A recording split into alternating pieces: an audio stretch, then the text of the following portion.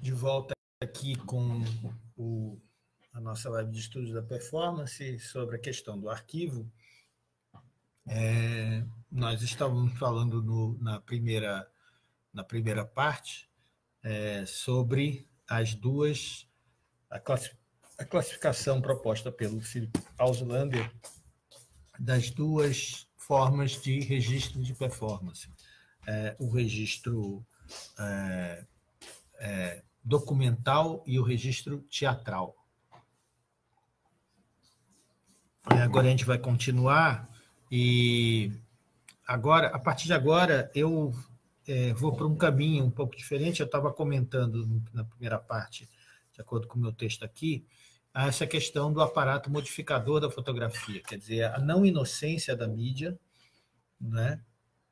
A mídia é, qualquer aparato de reprodução, de registro que você coloque diante de, de qualquer coisa, ele modifica necessariamente essa coisa, ele altera é, substancialmente a própria coisa, né? dá a essa coisa um outro sentido, né? dá a essa coisa uma, uma outra, um outro endereçamento, né? e é,